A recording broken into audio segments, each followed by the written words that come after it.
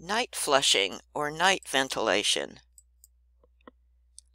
This is a method of cooling a building where uh, you open the windows at night when it's cool and cool air flows into the building, absorbs heat from the inside and flows out and carries the heat with it.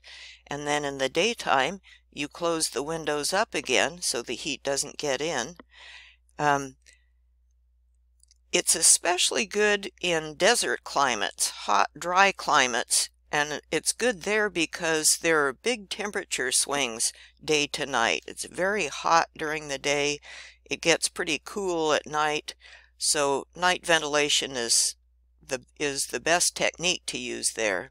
It's also good for temperate climates like here in Oregon. Um, we use night night ventilation in our little house we don't have air conditioning or a furnace, but we have uh, windows and we have trees for shade. And so in the daytime, we close the windows. In the nighttime, we open them up and the cool air flows through and it gets really comfortable. Night flushing uh, works with thermal mass. So during the day, when the building is closed up, that thermal mass absorbs heat.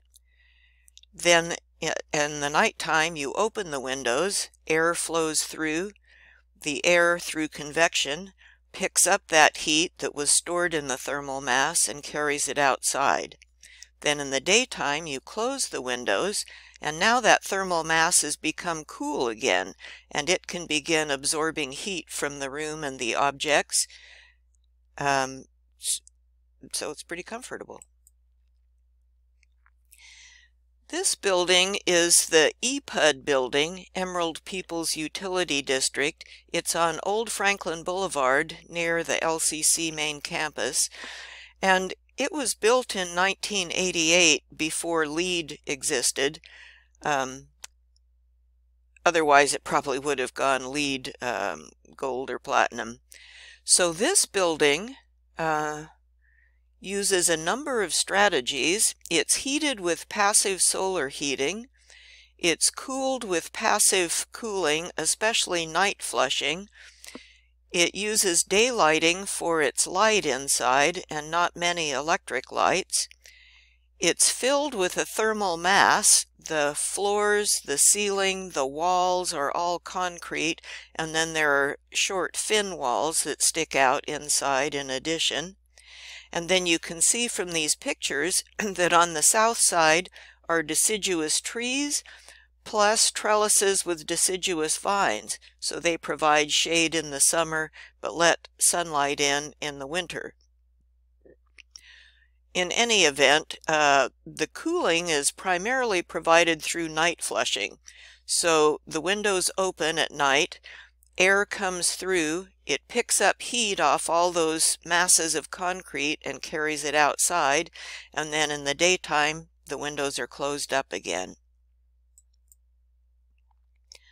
Another strategy, this is not night ventilation, but it's another strategy, is called the earth tube, and it's based on the fact that a few feet below the surface of the ground, the air stays a constant temperature around 55 degrees Fahrenheit winter and summer.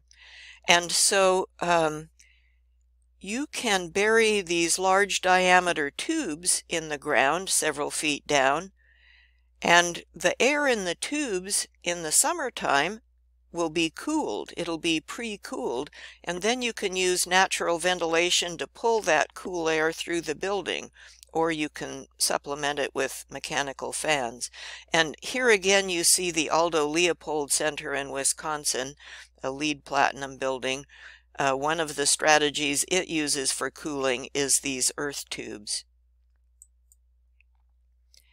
This is York University. This is happens to be the computer science building. This is up in Toronto, Canada, and it uses cross ventilation as you see in the diagrams and it also uses earth tubes buried in the ground and the earth tubes buried in the ground help supplement the cooling from the cross ventilation. multiple methods could be integrated together, as you can see. In a high-rise dwelling in Africa, residents cultivate crops in the lower levels of their structure.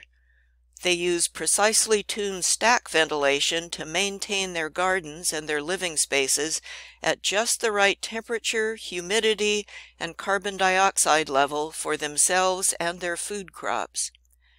An underground cellar, the coolest area in the structure, is kept cool without refrigeration using evaporative cooling. As heat flows upward through the tops of the chimneys, cool air from the cellar is pulled toward the living quarters and passageways. Thermal mass, stack ventilation, solar chimneys, and night flushing keep conditions constant inside while temperatures in this desert climate fluctuate from 107 degrees during the day to 37 degrees at night. The inhabitants of this structure are mound-building termites. And this is what a termite mound looks like uh, with this particular species of termite, the mound building termite. The picture at the top is uh, an art artist rendering showing the various parts of the termite mound. So their passive cooling system is extremely efficient in a desert climate where it gets really hot during the day and pretty cold at night. Termites are an example of an interesting kind of animal called the social insect. Um, social insects include termites, bees, ants, and one thing that is really interesting about them is that they uh, they have tiny brains human human brains have about a million times more neurons than ant brains or termite brains.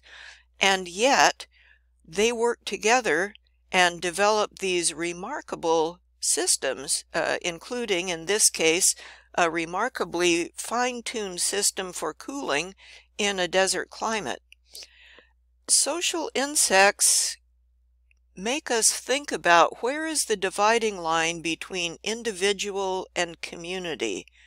So you could think of the human body as an analogy. In our body, each of our cells has a specialized job to do, and each cell, and we have many of them, each cell has a particular job to do. The cell doesn't really think in the traditional sense of the term, but it does perform its function and it does communicate with the other cells to keep everything functioning properly.